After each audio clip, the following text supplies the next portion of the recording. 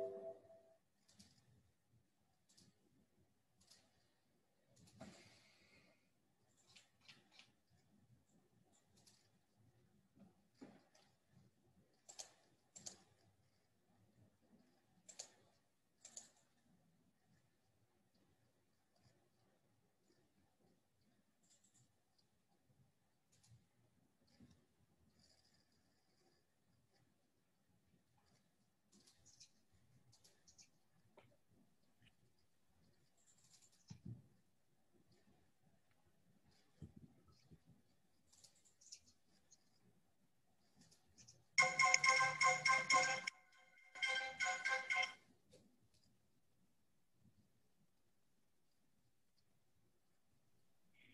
I hope everybody's well. Hey, how are you? Good for coming. Thank you for coming.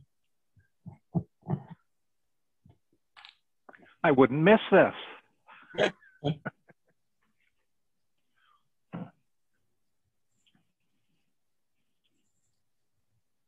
So, how are you doing in these pre-COVID days, post-COVID days?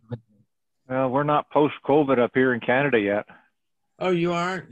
Yeah, we're still well, we're locked down right now, fairly tight still, until after this weekend, and then they're talking about starting to relax some of the some of the restrictions. How are your um, vaccinations going? Good, good. I guess our ratios have surpassed the U.S.'s for Oh, percentage really? of population. That's good. Yeah, yeah, yeah. About half half of the population of BC has at least had at least their first shot. I think it's a pretty well-known fact that Canadians are like three times smarter than Americans anyway. So that's probably. I don't know if it's smarter, but we tend to be more compliant. we're, not, we're not quite as radical. Sometimes I, Obtuse. Maybe it's obtuse. I just, I just don't understand. I really don't. There, I, I, Oh, people's resistance? some of my family is still saying, "I'm not going to get it. I'm not going to get it." Yeah. Why? I just, Yeah. What is their reasoning? Why aren't they going to get Well, because they don't have they don't have documentation that says everything's going to be okay or maybe they're putting cancer into you and they're trying to do a cleanse or maybe the government is this is some sort of system for the government and i'm thinking yes you're right this global pandemic is something that our government has decided to do to clear all of you out that just Yeah. doesn't make sense Yeah. And not taking the vaccination is going to thwart their efforts? How? if they want you gone, you're going to be gone. Right. i just i just Are, I like. Are the one with the, as you were saying, the one with the microchip, so they can trace your movement everywhere you go. That's why they're giving the vaccine. isn't that what this is for Yeah, that's what I was just thinking.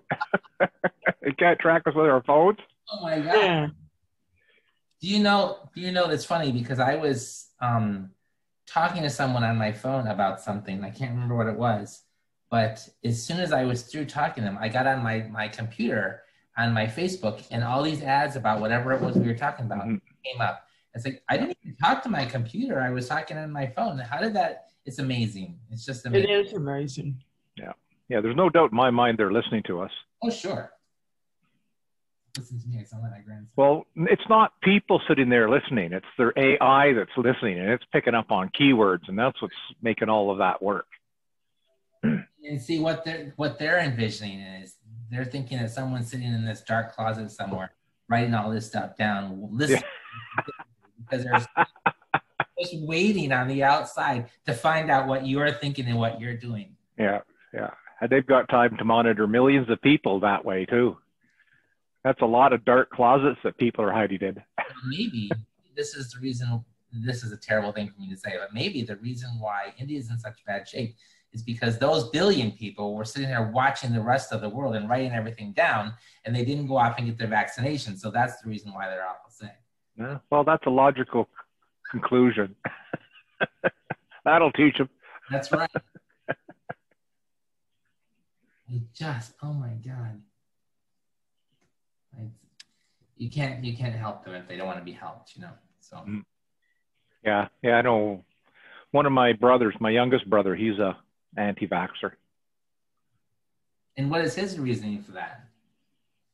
Just doesn't trust vac- vaccinations just because just because every medical organization in the world is saying we need this to get past this pandemic. Here's an interesting question. There are a lot of a lot of parents who, on a normal vaccination situation, don't like to vaccinate their kids. Mm-hmm. And then when they get sick or they get their they get whatever they were supposed to be vaccinated for, mm-hmm. they're all yeah yeah yeah yeah yeah. Well, should they be um, arrested or for child neglect because they didn't they didn't do what they were supposed they put their child in danger from this yeah but that, that that'll be somebody else's fault yes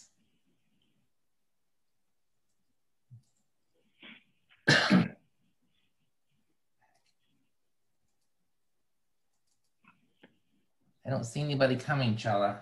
I don't either.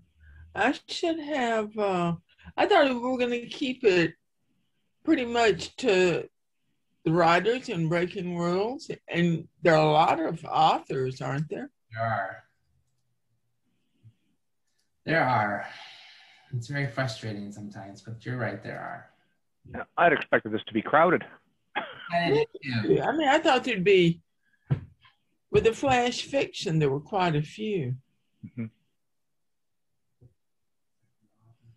Maybe it's because it's a long weekend and more people, well, I suppose they're not, but more people may be out traveling for the long weekend. Oh, for the Memorial Day? I, I That's next weekend, though. Memorial weekend is next week. Uh, okay, yeah. Up here in Canada, it's this is our long weekend. It's our May 2 4 weekend. Oh. Yeah. Um, well, the three of us can just talk about character and sure. how we approach character and what we do with character. I mean, certainly can only benefit us. We're all working on novels. So. Well, then we should begin. If someone comes along. Now let's start. So I'll start with a few things. I, I mean, I did have an approach. Um, when I think about character, when I'm working with character, I try to brainstorm just and jot down a million things about the character, even before I get very developed in the novel. where was the character born? And I make up all these questions to answer myself. What are their jobs? How long they had this job? Uh, what are they afraid of? What do they like? What's their favorite music? What's their favorite movie? What do they notice about people or and a friend of mine who is a counselor said that one way that she approaches brainstorming that she does Meyer Myers Briggs test on her characters to figure oh, out. Wow. And I thought that was a pretty clever uh, yeah, approach. Probably is. You know, and you know the introverts, extroverts. What is the uh, and she had another approach that she uses that I don't, which is she looks up Jung's 32 archetypes and thinks this is after she's developed more and thinks about how various characters feel fit into a particular archetype mold. I mean, you don't see it, it's like retelling a fairy tale. But these are the kinds of questions that begin to flood me and that I brainstorm about, even as I'm just beginning to know my character. But I thought that we could do a little bit of writing when we're talking about this and maybe start with step one because you may have a particular character now in a novel or a short story that you're working on. And just take a few minutes and I'll keep up with the time and describe the character, jot down specific uh, physical attributes of the character. We'll just spend two or three minutes doing this, and you can just pick up a character you're beginning to develop or have developed. I'll just call time.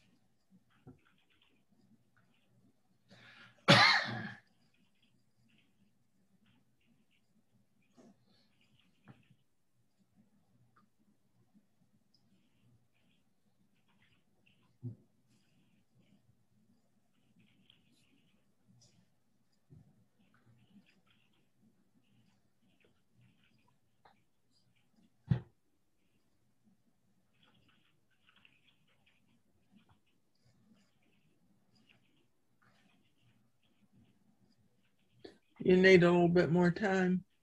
I have a lot. I think I'm okay. Yeah, I'm good.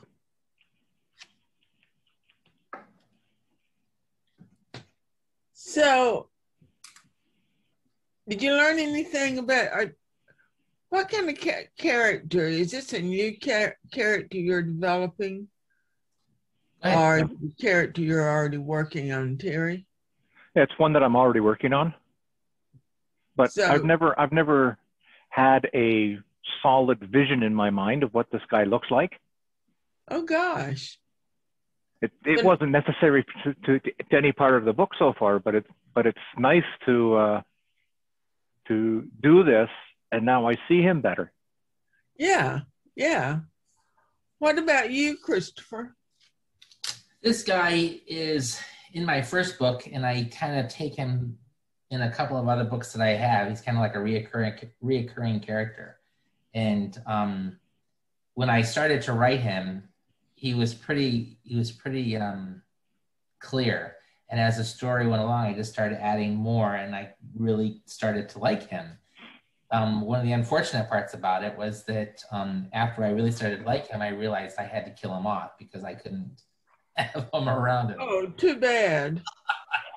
But we have to kill off people we like. Well, he was he was becoming he was becoming too much. I didn't want my stories to be focused around only him, and I was liking him to the point where I I could have written like three or four more books, and I just, Right. I just didn't want it to be that much of a series. If this particular this particular thing is this it's this family and and the, this having a series about the family is one thing. Having a series about this one guy, I didn't necessarily want to do.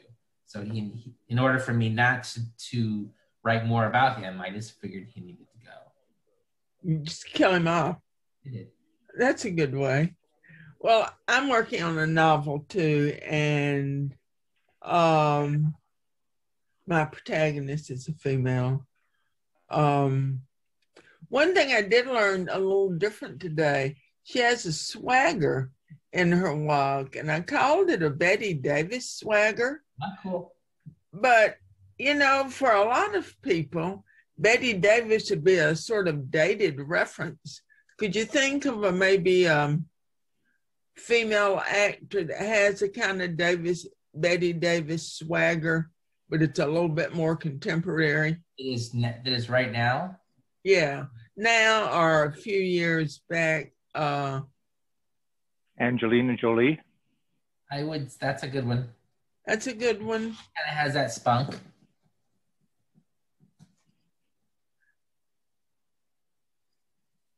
That's good. Because that makes it a little bit, if it comes out somewhere, that makes it a little bit more uh, identifiable. So yeah, that that's fun because I'm like, is that's a really good question or a point. Do you take a lot of your characters, either one of you, take a lot of your characters and um and mold them after people that you've seen on the screen or in television that are famous? Do you do you find this person say, I really like the way they are and just kind of mold your character to kind of fit their the personality you think that they have? you want to answer first, Terry, or do you want Sure. me? Yeah, sometimes I do because the type of uh, uh, person that is going to do what's happening in my story, I could see them doing that on the big screen. Right. Like the the movie's running in my head, and and they're the person that that uh, I would see in that. But most of the time, I don't. But I have done that in the past, where I've actually pictured somebody uh, that either somebody that I know or somebody that I'm aware of uh, being the main character. Yeah, I when I write, I have this movie that's going on on top of my head, and it can stop and go whenever I want it to. But the, those people, the the movie, is always filled with characters that I've seen in a different movie or an actor that I happen to like, and they kind of filter their way in. Some of their mannerisms or just the way they they walk, Right. whatever, just kind of hits that. I tend to work like Terry. I mean, I'm thinking of, I just did a little short story and it came to me that my male in the story was a lot like Adam Driver. So I had to just drop Adam's name. He's just so hot anyway. and uh, but I usually have developed my characters, and it's either in process or after they're done that I begin to see them in terms of maybe something someone would recognize. But I like the way that you play the movie in your head. Mhm. That keeps them very tangible and real. Yes, and very fresh. And it's, I don't know why. I David is irritated by me sometimes because I can just sit down and I can start to write the story, and we can be watching television, and I've got the pad and pen in my paper, and there's a commercial on, so I'm writing. and then you look up and you watch the show, and then when it's done, you you, you write because the commercial's on.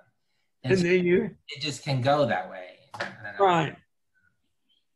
Well, I worry then too, or think about as we all do, the kind of language that our character uses, the choice of words, um, because it's hearing them talk that also brings them alive. How, how do they respond? To, what is the language they're using to respond to others?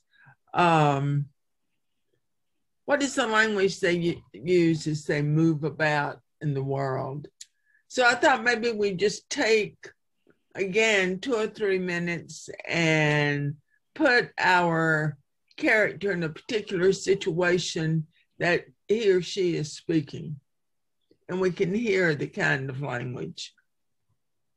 Because with all of our characters, there is that I probably I don't need necessarily mention, but well, that all of our characters have some sort of desire or yearning, because it's that desire or yearning that leads to the conflict of their action. So you may even put them in a particular situation where the language itself is revealed through their language, through their action.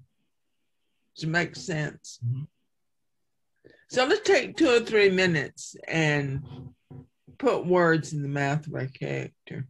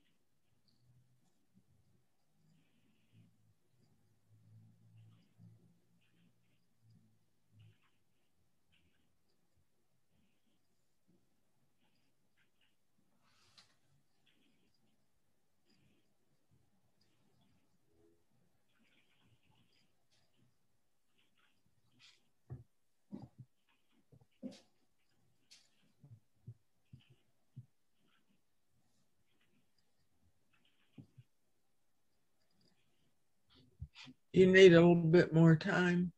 Good.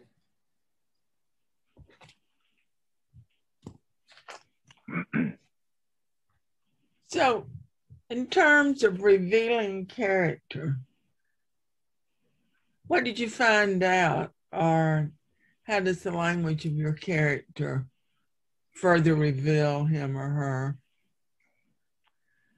Well, using certain words um, and not not uh, having proper structure in the in the sentences that they that they say. Right. Shows tell us a tell us a little bit about your character so we know where you're coming from, Terry. Okay, well, the character is a 22 year old young lady. Uh, she's very goth, so she wears a lot of uh, Black. Black. yeah, uh, white makeup and and black accents and stuff. Right. Um, yeah, yeah. So she she didn't finish high school, so she's she's not an educated person, and I, I want that to to be reflected in her her uh, dialogue. Um, but she's she's got a good heart, which is why she's in my story. Oh yeah. Okay. Do you feel comfortable sharing some of your dialogue? Sure, it, it's a it's a it, it, it's just a, a bit of dialogue between the owner of the restaurant, who's offered her a job, and her um, reluctance to take the job on. Okay. So it starts off with her talking. Uh, Mike, you know, like I don't know if I want to have a job. No. Did you mean you already have one? Like not really a job, but like I ain't no welfare chick. I got my pension. That's enough for you to do what you want? Sorta. Like rent ain't no deal and I got friends that help me here and there. Wouldn't a little job make you more comfortable? Ha! You don't even know me. So one thing he doesn't know at this point, he's trying to hire her as a waitress. She's only got one leg. Oh gosh. Ha! You don't even know me. Like you don't know yet. Then I got to get up early, like, and be here at a time. But the trade-off is you get a paycheck each week. Plus, there's the tips. And that was the part. That was oh, the part I, I got done. I mean, that's super revelation of character. Your character is quite interesting. She's goth. She's young. She's not educated. She only has one leg. It's like, man, this is she's got stuff going on. And she's savvy. Yeah.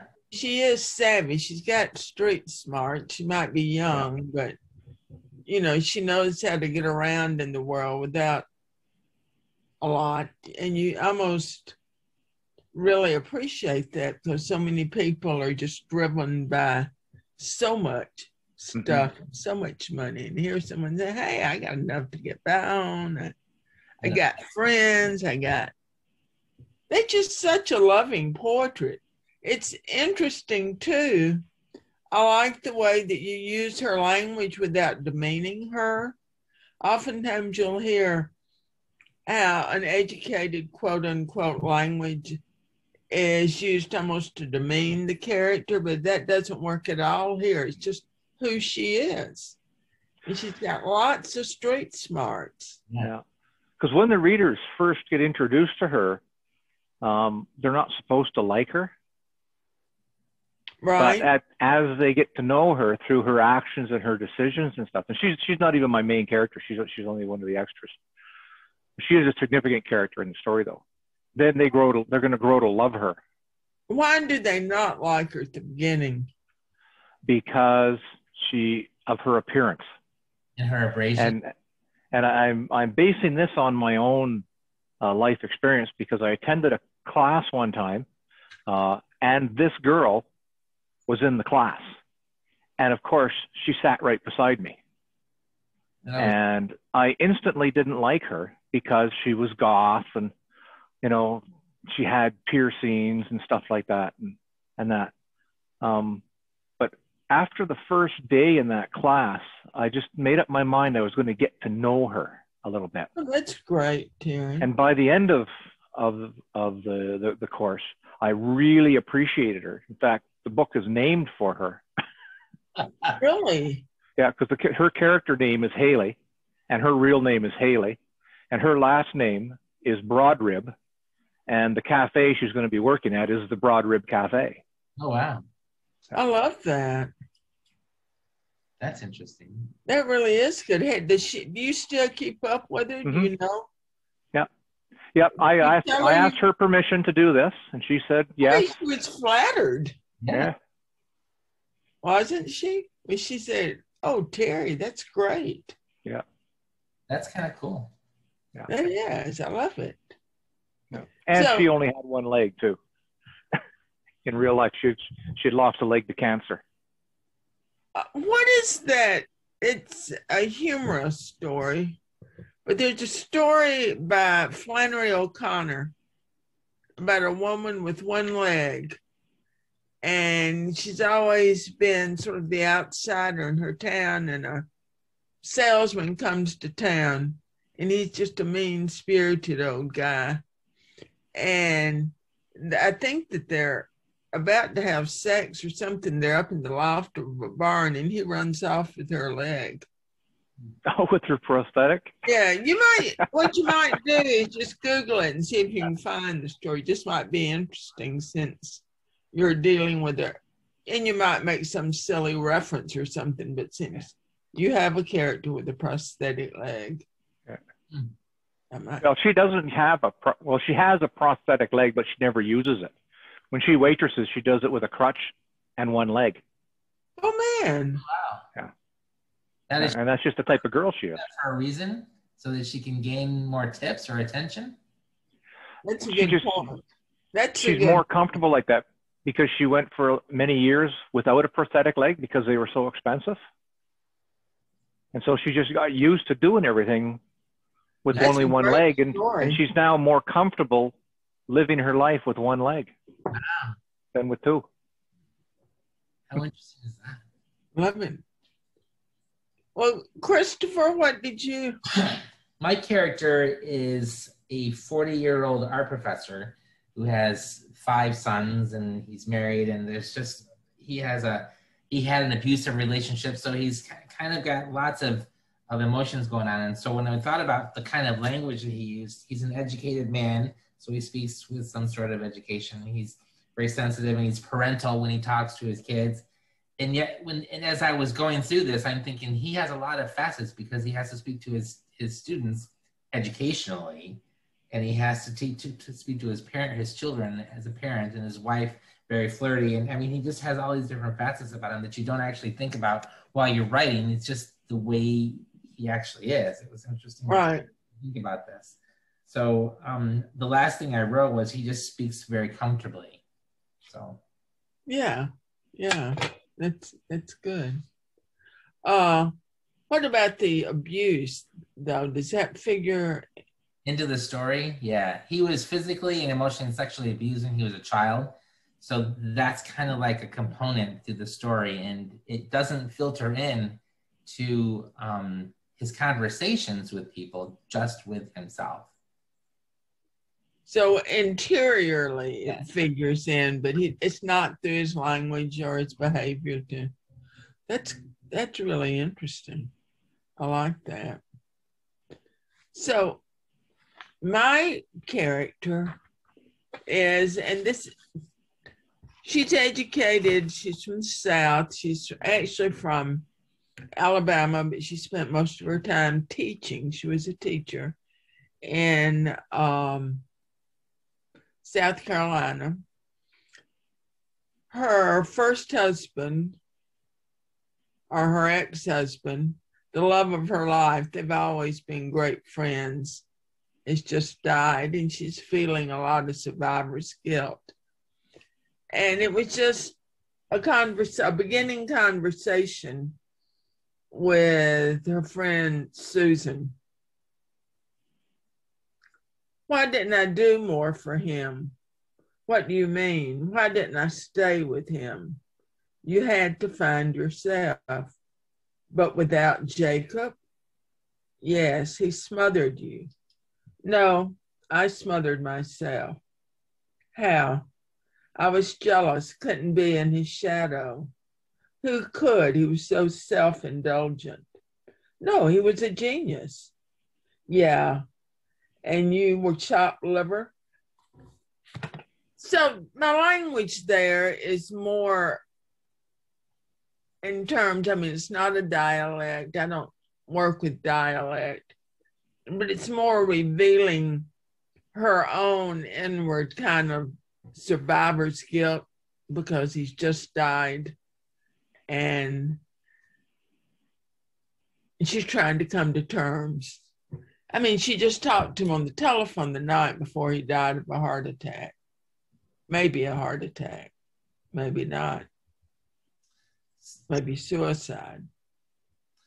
So this is interesting. I had my first book um, reviewed by a, a, a, readers group, and one of the things right. I liked and people gave me their opinions. One guy said he didn't like it, and the reason why is because I didn't finish this particular these sentences because um, it was always do you want to go with or did you do you want to come with? It wasn't yeah. with me or whatever. It was do you want to come with? And when he said that, I'm, I said, but, but that's the way this character speaks because he's from Michigan. And when you're in Michigan, that's the, the dialect you use. You don't finish it. It's always, do you want to come with? And he said, but that's, that was off putting to me. And I said, so if I had written the character into Texas and said, had him say y'all, that would have been okay. And he said, well, yeah. And I said, and the difference is what? he said, well, y'all. And I said, be, maybe it's because you're more aware of the word y'all and it's more. Right. You haven't heard people say, do you want to come with? And that makes you uncomfortable. It's not that the story is bad or that you don't understand it. It's just that you're not necessarily comfortable with that kind of language. I said, if the, the character was in England and he had a, a Cockney accent, how would you feel about that? And he said, I probably wouldn't like it. And I said, so maybe you need to stick with reading things that are in your own general area and not outside of that. Is, is that the case? And he said, maybe. So I just, it's odd that the reader on the outside is looking in and saying, I don't like the way this character speaks just because I'm not familiar with that kind of. That is, uh, but you know, probably a lot Uh, of readers are narrow minded like that. I mean, the point to me when you're reading is to get in the skin of somebody else. Well, it's I I think that when you're writing something, if you can't and someone's reading it, if you can't have them do that thing in your head where you're you're creating that story for them and they're putting themselves in right. then you failed. And this guy, as the reader, failed because he couldn't get inside where this this person was to understand this is how we spoke. It wasn't that it was an error on my part because I didn't put the word me on the end of it. Right. Me. Right. He didn't want to get to know this guy. Yeah, but I said it's it's a real sort of contract in the, between the writer and the reader. The, of course, the, as you were saying, the writer has responsibility for drawing in, for staying in the moment, for creating conflict and voice and everything else that we do with our character. But the reader also is a uh, what did Coleridge say? A willing suspense of disbelief. They enter that when they open the page, they entered the world of the writer. Yes. And, you know, go with the writer. That's that imaginative exploration. Curious just to see how many people read or leave reviews and they don't actually do that. I mean, it, I know, I think you're right. That's why I think that, writing groups are difficult, Chris, because oftentimes I've, I'm Terry, I've been occasionally, I'm not in a lot of writing groups, but the reader, instead of entering the writer's world, want to impose their world mm-hmm. on the writer. So their critical responses are more like, do this like I would do it. Yes. And that's annoying. It's going to make their Look, it's my story. Going to limit their choices of things to to read for one thing, and it's going to uh, make everybody sound the same. Yes. Right. And people don't sound the same, and, and a lot of times that's how you can tell who's talking is because Right. the you know the different words or the different inflections and stuff like that. They'll have to start using just different fonts or italics or something Yeah. to show difference. There's, there's there's just the three of us here, and each one of us has a different. Um, I don't want to say accent, but each one of us has a different accent to the tone of our voice. Right. Here, you're Canadian. Sometimes when you're speaking, you can hear that Canadian tone coming through, or the little words that you draw differently on. And you're the same way, Chella. Because Yeah. from the south, and I'm from the north, so it's totally different. It's interesting. With just the three of us, we have three different dialects going on here. Sure. We Right. all understand each other. Of course, we do. So, so I like too when you, you know, with your character.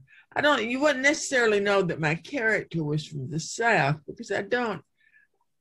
Unlike Terry, I don't work in dialect, but I do work in idioms. So, you know, like if a character says, a grandfather character says, "I'm about as happy as dead pig in the sunshine." that would be a very southern idiom. Are there phrases that you know they use in different parts of the world and country that my character may use? So I'm aware of idioms and southern idioms, but I don't use dialect much. I have difficulty with it. But you're great with it, Terry. You are. I mean, I love it. Yours is really good. Thank you. I, I, I work on that because I, I, I like to have my characters differentiated through that because it tells it, it reveals so much about their That's it. personality. That's it. Yeah. Dialogue, the use of words, as well as the conversations they have, should be moving the story forward, should be Mhm. developing, revealing the character. Yeah. And then it's interesting too, because as uh, Christopher pointed out, when you're talking to different people, you have to change your your way of talking so that you're Right. addressing your audience in the in the proper way. Right. So uh, you can tell what's kind of what's going on behind the the uh, character's mind with the way that he's talking to certain people. You know, when he's talking to an employee or when he's talking to a customer, Right. To- two totally different word sets, two totally different uh, tones and, and attitudes. And and what's interesting, as I was saying before, what's interesting for my character, I didn't even put that into perspective until we just started talking about it now. It was just something that he natu- he naturally did, and I didn't, wasn't even thinking, oh, he has to be very parental at this moment, or he has to be very um, instructional because he's talking to students, or if he's flirting with his wife. It's just something that this character just naturally did, and I, I I don't know how it all worked out for me, but that's mm. that's, that's how it really worked out for him. Well, let's do let's do another take another step because in developing character, you know, we not only think about how the character looks, how the character behaves, how the character speaks, but also how the character thinks, what the character thinks about, and what the character feels. That's the interior, the internal part of the character. And you often hear this. I don't know how often you all use it in your writing, but I often use interior. And I think part of it is that many of my many of my characters are kind of isolates. You know, they're kind of hermetic. Uh, but why don't we do that? Take a few minutes and and write the internal thoughts of this particular character you're dealing with or their internal feelings. Does that sound like a do? Sure. Yeah.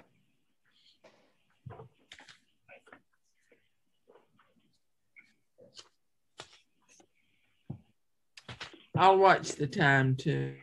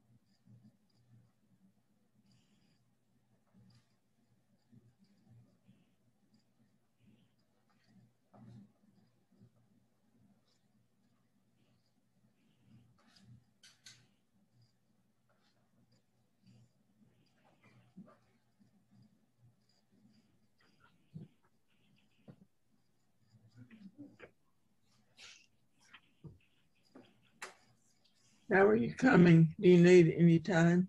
I'm good.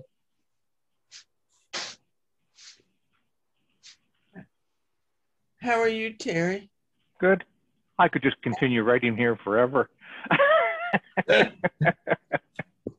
you have a warm nook there to write in. I like your. Oh yeah, I got a great setup here. I'm really happy yeah. with it. So, did you learn anything in this process about your character? Any Chris or Terry or me? I don't know that I learned anything new about my character. I don't learn anything new either. I um, I can maybe I learned more about the story because I can see how I had him, how I created him, and how I had him react to people who were coming in and out of this the scene, and how he would respond to them so that he would not let on what had happened to him before. Does that make sense? Right. So one of the things, because he was abused, he didn't want people to see in him that he had had been. He was just this wanted to be this normal guy who was going through life like everybody else does. Not that he had all these little sprinkles that were going on as he walked around inside of his head. And that was a struggle for him. Was that hard for his relationship with his wife? I mean, he's always kind of It, it was, and one of the it's it's interesting because one of the things I I did was try and get him to run. So he was starting to run, jog, and but as thinking that he was going to start clearing his mind and things were going to be away. And what happened was it just kind of made it worse because it turned into thinking more of it because I had more silent silent inner thought time to think about all these things, and it just escalated until finally he ended up at his um, father's home in actual anger. So it just it didn't it didn't ju- justify what had the reverse effect. would be the opposite effect. Do you want to share any of that with us that you wrote? I don't have it with me, but I, I would have loved to, but I just I don't have it with me. Okay. That sounds that sounds really interesting though. How far through it are you?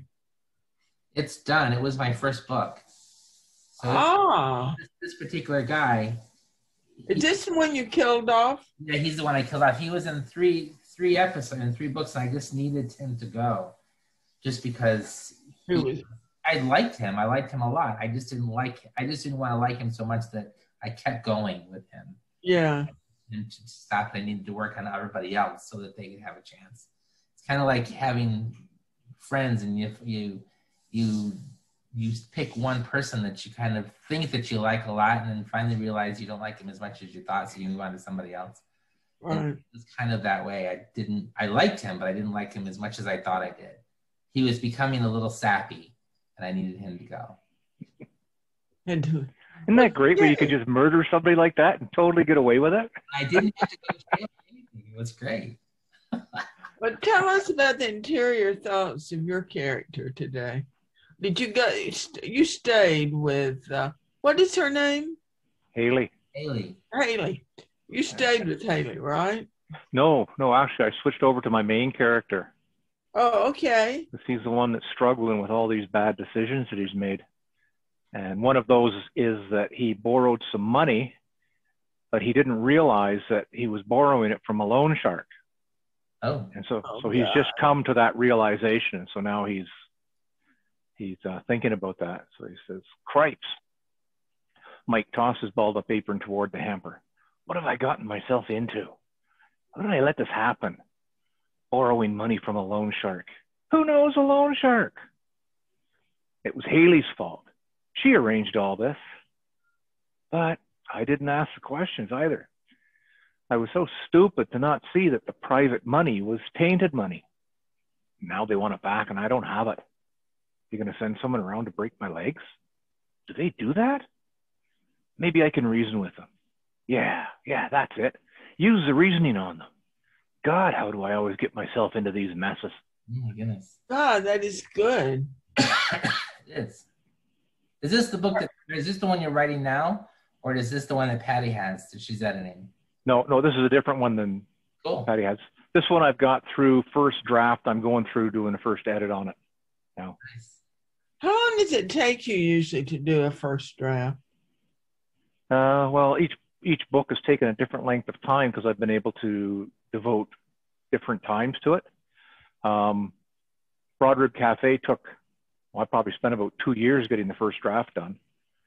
But the one that Patty's was editing, um, that one came off in about four months. This is, Broad, this is Broad Rib Cafe, right? That's what this one was. Yeah, yeah, yeah. yeah. Gary, how do you how do you write? Do you write everything down longhand and then transfer it to computer, or do you write this directly to your computer? Uh, most of it I put straight into the computer, but because I can I can work on multiple platforms. You know, if I, if I'm out waiting for my wife or something, I can be typing away on my phone, working on my tablet. I also have a uh, uh, a book that I can write in, and the pen records everything Oh, and it takes and transfers my handwritten notes into text. I love that. Yeah, yeah. It's called a live scribe. Wow. Wow. And uh, yeah, it's so so. What, whatever way I want to write, I can. It's great. I need that. I need that pen. Gee. How do you how do you write? I write with a pad and pen first, and then I, as I'm going, I translate. So I'm kind of like I will write and then um, continue on. If maybe I've had like three chapters in, and then I'll start in chapter one and start to put it into the computer and continue to write so that I'm kind of like catching myself up. But as I'm doing that, I'm kind of like um, knowing that I'm like three, three or four cha- chapters ahead. I know what's happening, so I can kind of like re-edit the, the first chapter and kind of add more fluff to it and make it so that it's kind of makes sense for the next chapter that's coming along. It just it's just easier for me to do that. I have a difficult time. Even when i write down messages or letters to whomever i have to write it out longhand first because it's just when i sit down at the computer it just it's it's that blank screen syndrome thing i don't know why this could be a blank page and it doesn't bother me at all i can write anything anytime when i sit down to the computer i just have a hard time putting it all out together it doesn't want to hit from here to there out to the keys i don't know what that is all about. But. do you want to share anything from your interior thoughts of your character? My particular one, he was how he, he deals with it is just because of the abuse and letting people know. He struggles with his father and the shame and the timidity that he's that he has with us, and then um, he worries more about his sons and how they're making sure that they're kind of growing up like they should, and remembering how his father was and and using that as example of what not to do.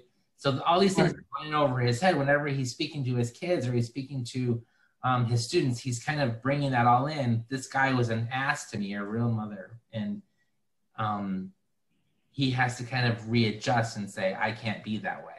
So this was right. this was my this was my guide to, to what not to do, kind of thing. And and then again, when he goes into his his running stage, all of it all of it just starts coming out and in his head and he's reliving it all and in over a matter of a few months he's just kind of like let it all swell up and he finally he actually runs blindly. He doesn't know where he's going. He'll, he'll just kind of go and every now and then he'll find himself in front of his father's house and then keep oh, going. Last time he ended up there and stopped and um, his father actually confronted him and it was just all out anger because and, and his father and at this this moment in his life his father was old and weak and wasn't able to respond. And it was just like right. he was like attacking this old man just because he needed to get it all off of his chest and out of, out of his mind. And only until his son actually pulled because his wife and his wife and older son went looking for him because he had been gone for so long. They found him and his son pulled him by the hand. And um, that kind of broke his thought, and it kind of it, that was kind of the moment where he said, "Enough of this. I'm not going to do this anymore." Right. That was where my life is. I need to forget that part of it. The character changes. Amazing. Well, I, as I say, I'm in the process of writing this novel. So Janet, who is my um, main character. She's the one whose ex husband that she was best friend, lover with all of these years, but she's also bisexual, but that doesn't come into this part. Anyway, this is her right after finding out about his heart attack and his death. This is some interior thought. Janet wondered how long she'd wear black and weep over Jacob. Divorced almost 20 years and now reliving those hours of abandonment. Where were his warm arms wrapping around her, holding her? Their last night together, he turned to her. Why did you leave me? I love you more than life itself. I was ready to give up the ghost go down with a lorazepam. Then you called. That's as far as I got. These are her thoughts. Um, I'm sort of working out whether or not she's, whether or not it was a heart attack or whether or not it was suicide. Mm. But uh, it only happens in a day. So it's not going to be a novella, but she wakes up and it's the day, you know, they, they always ask the question, why this day? It's the day that Jacob, of Jacob's funeral. So, so that. Uh, it felt very real. It did. Oh well, thank you. Yeah, I could I could imagine somebody struggling with those with those thoughts and issues, for sure. People, this is interesting for all of us right now because when people ask me how I like to write or what I write about, I and I showed I have a book. It's called The Trade, and it starts out with the World Trade Center falling down, but that's not what it's about. Right.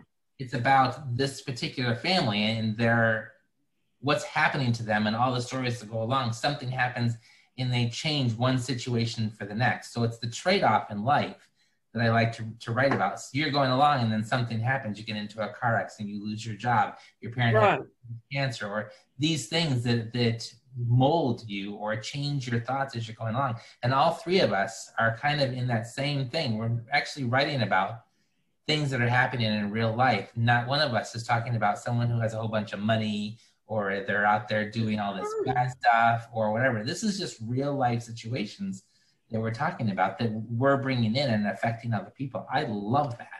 Mm-hmm. I do too. It makes it so relatable and so human, and you can read read that and share that experience from so many positions. You know, it gives the imagination room to roam. It's a good point, Christopher. I love mm, that. Very good point. Um, then so we've we've been through the physical description of our characters, uh, the kind of language, the kind of words they choose, and, and the situation they're in. We've heard their internal voice.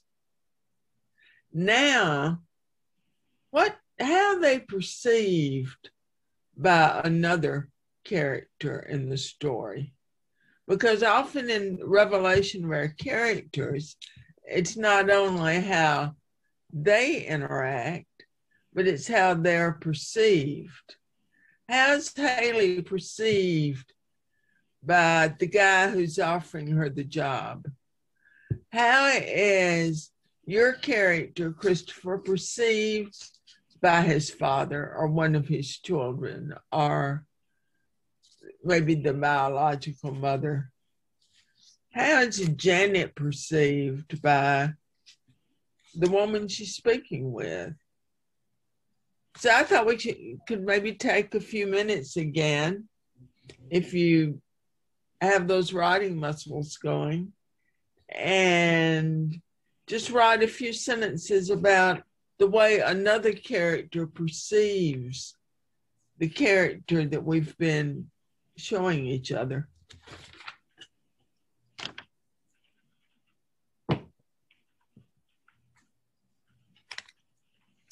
Or how they react, you know, it can be physical, intellectual.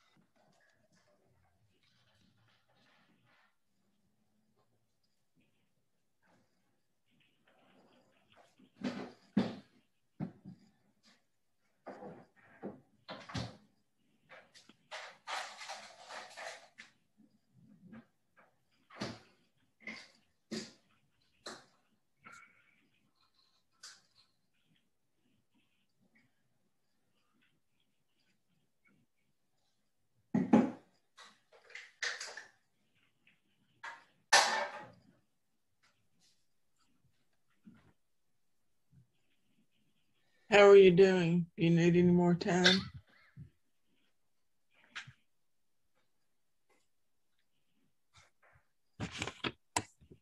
I have to tell you the entire book to make you understand.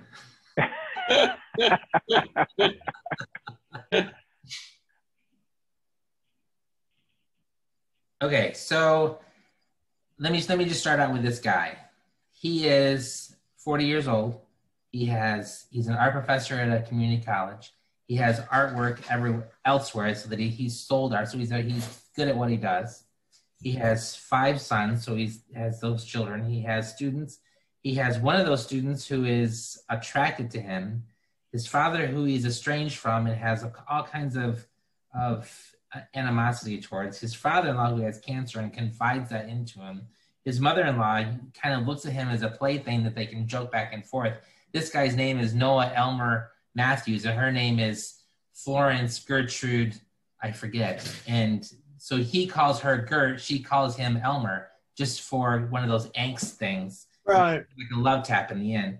And then they, he has a priest that he confides in to find out that the guy, the priest, also has similar experiences. So he has all this trust and shared experience and uses kind of the two of them as a safe place. So there's this guy has so much going on that you know, he feels loved and, and attracted by his wife, and his kids think that he's a good father and a playmate and an educator, and his his students look to him as being very trustworthy and they admire him. And this one guy who has desires him and stalks him and actually becomes very abusive in the end. His father, who thinks of him as being a better man and father than he was, and embarrassed by everything that he did and regretful of the time that he's lost, with his son. And then you have his father-in-law who looks at him as, as and admires the fact that he has all this going on and still is a, as a good parent and he's done well with his his daughter and the mother-in-law again with the plaything and then this priest. So he's just got a lot when i think about it a lot going on with all these different people that are just kind of like coming through and they think of him totally differently. And this is a really good book. Well does he realize that he's bisexual or is he gay or? Not. He's not. He was just abused. He was sexually abused when he was a child and that's as far as it got.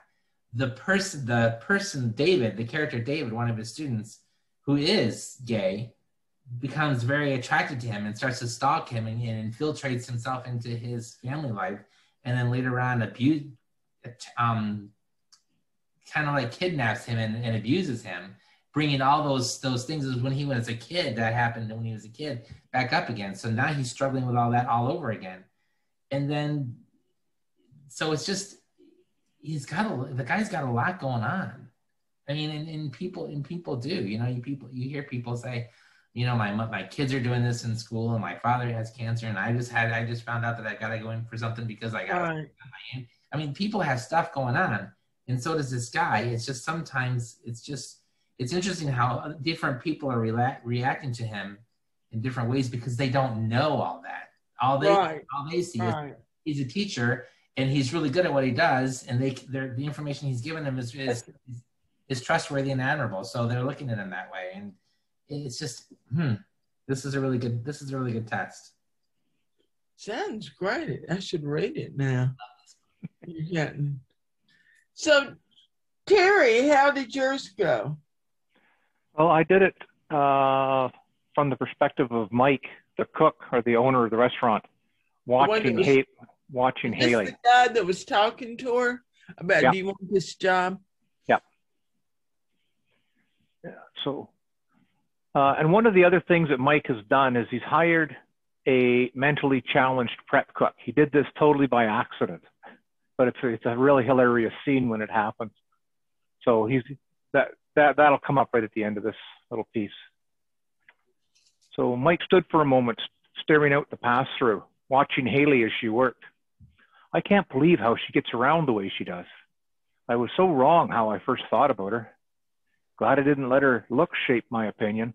She's actually quite amazing. And the customers love her, at least the ones that don't try to grab her butt. She could smile more, but she's doing well just being herself. And it turns out she's kind of pretty. Who would have thought? I hardly even see those piercings anymore. And they were a big deal for me that first day.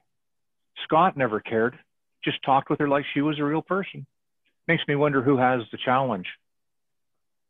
Wow, I love that last line. I did too. Geez, that's great.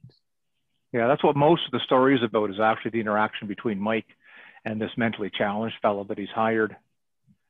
And he's so, too nice, too nice a guy to just get rid of him. So he has to adapt to be able to communicate with this fella and get him to do what he needs to do. So it's Mike's revelation and Mike's change that we see through this book. Absolutely. Yeah. Gee. Yeah, but see, usually when you have a, the the change in a character, they change from something bad to something better.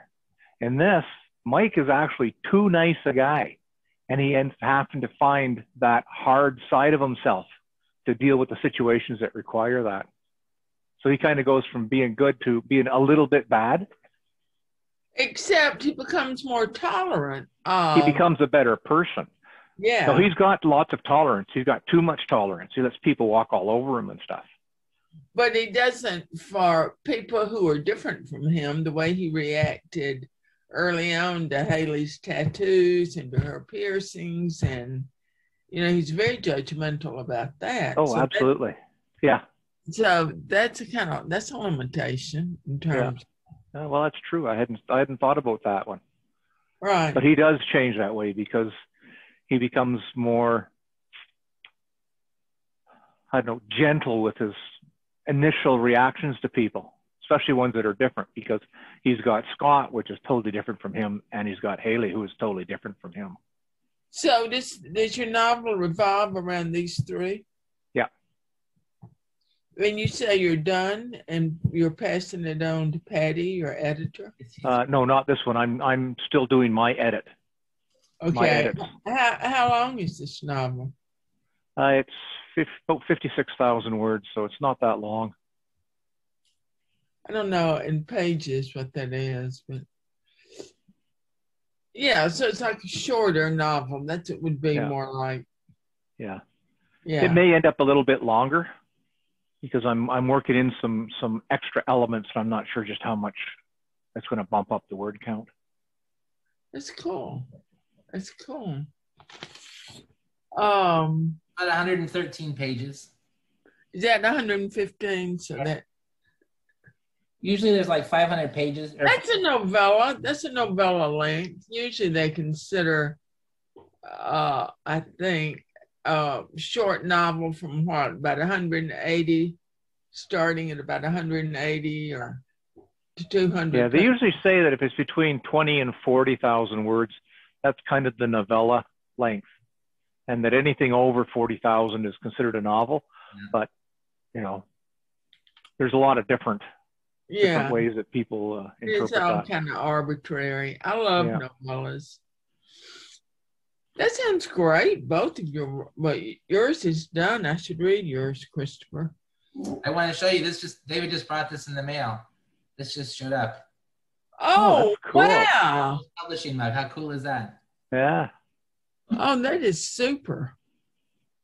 So I, um, what I did was I had Janet, who's the main character and has a survivor's guilt. I had her confronted, and this is just the thoughts of by her good friend Susan. Susan also was Jacob's sister, or is, was. You're hiding something, Janet. Why do you think you caused his death? The way you talk about having abandoned him? What is it? Why do you feel you have to beat yourself up? He had a heart attack. He ate all the wrong food, drank too much, never exercised. That's Jacob's fault, not yours. I drove him to it, Susan. I let him down. Mm. That's as far as I got. Mm. But that's what she's having to grapple with through this whole novel is to come to terms um, what she perceives as not only come to terms with with his loss and accepting life without Jacob, but to what extent was she a factor in his death? And indeed, was it a suicide? There's a bit of a mystery here. Because in a small town, you know, you don't want to say, oh, yeah, my brother killed himself. So the word that gets out through his sister is that he had a heart attack. So that's sort of my approach. I, you know, is to, those are kind of my steps in working out character the physical description, the language they use, their internal thoughts. Now, my taste, and I have to work with myself to get my characters out of their head. If it were me, I'd be like, you know, um, the telltale heart or you know do the Edgar Allan Poe thing, and I'd stay in my head the whole time. But I have to work against that. And then four, how they're perceived by other characters. I think that is so revealing, moving the story, showing you the character. And then I think a good exercise, if you want to do it and you're in the process of writing something, is just to tell this story that you're telling, this narrative, from another character's perspective. Mm-hmm. How would it change? What would be different? What would be the different motivations, the different yearning? Mm-hmm. It's just a way, I think, of getting more in touch with your character. I think that's a good idea. Most of the stuff that I write, it's it's all from like the whole book will be from one person's perspective. And so all the reader gets is other people's reactions to that individual. Right. So you largely work in third person close. Yeah. Yeah. It's hard to do multiple perspectives, I think. I and stay true to them. I yeah. So there was Jackie Collins wrote a book. It's called Chances, and that was kind of like not my first book I ever read, but one of those books that kind of changed my mind on how I wanted to write and sh- this particular book went from one chapter was about one one person and the next chapter was about another person and how they related and it went on so each chapter was jumping all around and you had to catch up with or keep track of what everyone was doing and it just fascinated me how every everything just works so easily and that's what that's kind of how i write i i don't let anybody so each there's not a chapter where so and so went to the grocery store, and then the next chapter is they came back and they went to the came home, and then the next chapter is oh they decided to go to the beach. I don't, none of my books are that way. So and so went to the grocery store, and so and so went to go to a dance concert, and then these two people met over here at the beach. So they're they're intertwining as they go through the book. Mm-hmm. It's it's I kind of like it when each chapter is is someone else's life, different point of view. Yeah. Well, you know, William Faulkner, one of his early novels is I Dying. Every chapter is told from a different point of view. So, you know, that's sort of good, but it's difficult. It's difficult. Mrs. Dalloway by Woolf, you know, she gives everybody in that book a point of view. And I'm with you, Terry. I just find it very difficult to consistently carry that through. Yeah, it might be interesting maybe, to. Maybe if I had chapters in different stories, but if I'm trying to carry one narrative through, mainly. it might be inter- interesting to write from different perspectives, uh, but you kind of have overlapping events. So this person right. goes to the store and then goes home, and but this person was at the store and saw them come in and then they do their own thing afterwards. Exactly. And and you get right. you get that way you get two different perspectives on the same event. But the, the second time you're taking the reader through it, they already know what happened. But it, and so then the, the, the, the key element would be what that second person saw that was different from what the first person saw. Yes, yes, excellent. Now, is that what happens in your novels, Chris? It is. It kind of is. Um, each chapter that I write, um, starts it starts with one of the one of the because there's a I I tend to use a lot of characters just because right. people, people have friends.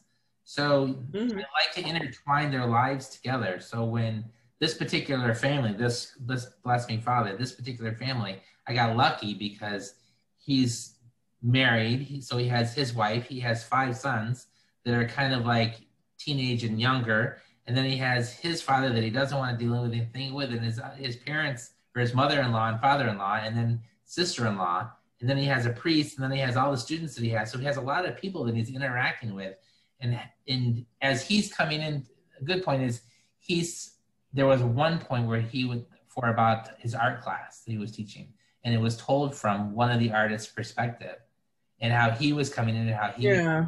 class and Good. he thought about what everyone was doing and going on. So I I like that. I I even wrote one one of the in a, a later in the book later in a couple books let down the road. One of my characters was the house that that, that they had lived in. It was an old barn. Oh yeah. And I decided that this That's kind of what you're doing with doors, isn't it? Yes, yes. So this particular house, someone caught it on fire.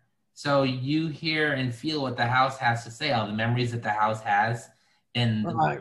paint's fun- melting down the the wall, and how that's kind of like crying, and the window, windows that are popping out and the smoke going through. It's just the house has its own character because they're in it all the time. Right. That sounds fabulous. Part of the, it's part of the story. So when the sto- when the house burns, it has to have its own character moment or chapter too. That was kind of fun to write. Oh yeah. Yeah. Well, I sent out a handout for us.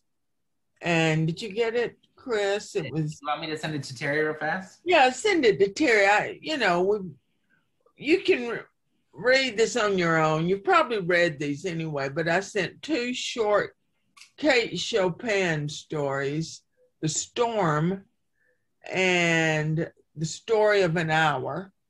And the story of an hour is a very interior kind of story. There are external events, but if you haven't read it, I'm I'm not going to give any uh, anything away in it, any spoilers. But then Hills Like White Elephants, probably you've all read. The thing is, I like about Hills Like White Elephants, and this is what I like about the, the short work that Hemingway does, as well as Kate Chopin. So good with dialogue, you know, and dialogue is so essential to revealing character. hmm I have an You're moving it ahead, and you don't want, you know, people say, oh, it should sound like conversation. No, you really don't want it to sound like conversation. We have a lot of dead words and and words we don't need. You want to be concise and condensed, but it does give the illusion of conversation. It's like, do you want to go with? Like Chris was saying, you don't feel that. I, would you like to go with me to the grocery store? Mhm. No. Want to go with? Or, you know, You coming? yeah, Yeah, we yeah. speak in fragments. We don't Yeah. speak like our English teacher in this eighth grade. So I wonder, um, now that I've read both of your books, I, as you're going through and, and any other work that you've done, I wonder because I like to write in my dialogue. I'll write the dialogue out like we're talking now, and then after my my my quotations, as I sit in the chair looking into the the computer screen, I add that into the into the into the dialogue so that people can know what I'm doing, as opposed to stopping there and adding another paragraph or something behind. I'm kind of telling what this the person's doing or thinking as they're talking. Do you guys do that often? Yeah, I usually work the thoughts and stuff in with the words.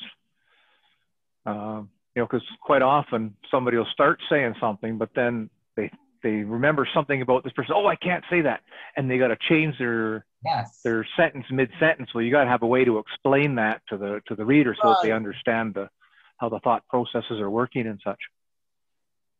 Is it Trevor Nunn that does the free, so much of the free indirect style, and that you'll be listening to conversation and suddenly it just morphs into the narrators or to the characters' interior thoughts? That sort of sounds like what you all are doing. Mhm. A movement from interior thoughts to uh, dialogue and back. I just like to connect. I don't. I don't like when I write or even when I read something that is that is saying, he said, she said, Right. he said. Yeah. I want blah blah blah. And you and Noah or this particular character, Noah replied blah blah blah blah as he sat in a chair looking out over the the ocean. You You know, I like I like to, to say this is what he said, this is what he's doing at the same time, or or thinking with regret or or whatever.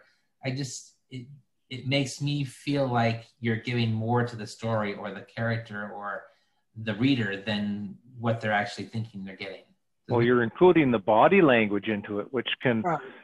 it- which can reshape the words that the person just spoke because maybe they're being sarcastic and stuff. But uh, who wants to say he said sarcastically, right? I'd never say that. I'm going to show you exactly. his actions that, and then the reader goes, "Oh, he doesn't really mean that. He's being sarcastic." Yeah, absolutely. We you just have to be careful that you don't lose the reader in terms of who's speaking. hmm Oh, I don't like a lot of tags either. I just want to be sure the reader knows who's speaking. You would be Yeah. surprised how many how many submissions that we get where you're you're going along and the the conversation is going back and forth and you're lost who's saying what because they don't identify and they're so they're so caught up in Jane said this blah blah blah blah blah and then continues to talk or or this conversation that we're having here if we didn't know who we were or who was talking or the level Right. we're speaking all of that is just put in there with no indication of who's talking at all and it's so confusing and i'm sitting back you got to fix this i can't i can't do that Yeah. And it can be so so easy to reground your readers. yeah Right. You, you, you know, um, yes, I agree with you. Bill tapped his head. Well, now you've regrounded your reader without saying that Bill said that, but they know that Yeah. Bill said that. exactly yes exactly Yeah. yes i agree So what else do you have do we have to add? I mean, that's kind of was my approach with the four points and the three handouts. I think this was cool. It's, it was very thought provoking. I mean, I, I, you know, I write the characters and I write the books and I go along and I never really, I never really consider what you do because you write it all out. This is who this guy is and whatever. I just write it. And now that I actually have to think about it, he's kind of a cool guy. I'm sorry, I can't. What, what it might do, Christopher, you know, in the process of writing, you may not think about, but now that you're thinking about it, before you write it, it might already be there. And so when you start writing, Goes, yeah. mm-hmm. Yeah. I thought this was a great, great exercises today. I agree. Um, You guys, I've Oh. already kind of do a lot of this stuff, but seeing just uh, uh, doing it practically, doing it for a purpose, I, I, I like that. I'm going to do this more when I'm er- early developing my characters. I think so. And you know, isn't it easier to work with a few other people than to do it alone? I was one of my questions I was going to ask you guys if you ever if you've done that if you've taken part of your story and given it to someone to read bef- a- as you continue on so they can see how you're doing or what their thoughts about it are. Have you ever shared your stories with anybody? Mhm. I do that all the time. Do you? Chella, do you? Mm, the only person I share mine with is my husband, and he's a writer. I don't, and this is my reasoning. I just don't, until I really get my story and am comfortable with my story and confident with my story, I don't want to get input from other people. I mean, so maybe they don't like the, you know, and it goes back to what I was saying how some readers want to impose the way they would do it on your story. And until I'm really solid with my story, I don't want to hear any responses except for Ted's. And he's a very good fiction, he's a very good editor. So I feel comfortable. He'll say, What in the hell does that mean? What is that doing for? And he can say all sorts of shit to me, and it's, I know that it's strengthen that story and make it better. So one of the books that I wrote is called Wild Swan, and I actually had a Facebook group of about eight to ten people come in, and I said I'm going to write the chapters and I'm going to send them to you, and you can read them, and then you can send me your responses back, and if you think that should be changed, you can give me some suggestions, and I'll do it that way. So we did that through the entire book. It was um, a lot of fun in that way because you had ten different people interpreting your story and I connect it all. But it took me out of my comfort zone because I'm very protective. I don't want anyone to see it until it's done. And Right. particular one was like, all right, I'm, I'm giving you this. This is where we are. And it was cool. It was kind of fun to play with them. You know, I Yeah. can see maybe some stories, or if you start with that, that would be an interesting project. But if you really have a story that you know you want to tell and kind of how you want to tell it, well, I may, you know, Yeah, I'm always anxious to to get other people's opinions, particularly on my novels. On my short stories, I'm I usually won't send them out to anybody until they're finished. But on the novels, do up the first chapter, send it out, and see what the reaction is. I've got probably four or five novels that I started, and the reaction was deadpan cold. So I thought, well, I guess I just got a lousy idea. Oh, wow. Well, so I I, mean, stopped and went on to have you something else. Maybe you should just Karen, or send Sorry? them. go ahead, Chris. Maybe you should risk rework them or send them to someone else and see what they think. Yeah, possibly. I've got enough I'm working on right now. See, I just would not, unless it's, I won't say I'd never do that because I'd say never. I'd probably do it tomorrow. But um, I don't know. I just, some ideas I like and I want to write. I got a story there, and I know other people wouldn't particularly like it. So I want to get it done. I mean, I probably just don't have the courage that you do, Terry. So, have either of you seen? I'm sure you have the movie The Way We Were. Yes. Mhm. Okay, so he Robert Redford is the writer, and she read his book, and they're discussing it, and she's telling him how she loves it and whatever. And his response was, "What didn't you like?" hmm First thing he said was, "What didn't you like?" I found that interesting. What didn't you like? Yeah, it's kind, That's kind of what I asked. critical approach. I asked my readers. I said, "What parts um, were hard to read?" Uh, Because if, if you've got a, a chapter or a scene or something that drags, you want to identify that so you can either cut it or spruce it up. not what you didn't like, but what did you find hard to read? That's different. Yeah. Cool. Well, great. I'm sorry more people didn't show up, but you all are great writers to Yeah, talk it was a lot to. So this was good. Yes, thank you so much for for uh, hosting this. Oh yeah. Well, Christopher hosted it, and we Yeah, talked. but you about- came and you gave and you lent us your expertise. Let's make a Zoom meeting. That's all I did. So we're still going to do the dialogue, aren't we? Yeah. And I'll probably use that Hills Like White Elephants again. I don't know about the other two, but I think that's great on dialogue. And particularly, it's like Ray Carver's, what we talk about when we talk about love, they never talk about it. Then in Hills Like White Elephant, that's it again, that everything is really in the subtext. Everything they're talking about is not what they're really talking about. It's great dialogue, I think. All of his short pieces are great dialogue. Well, guys, this has been fun. Yeah. Have a I've great day. enjoyed it. Thank you so much. Take care. Let's do this stuff again. I think Okay. I love these sessions. I do. Have a great day. Great. Bye bye. Bye bye.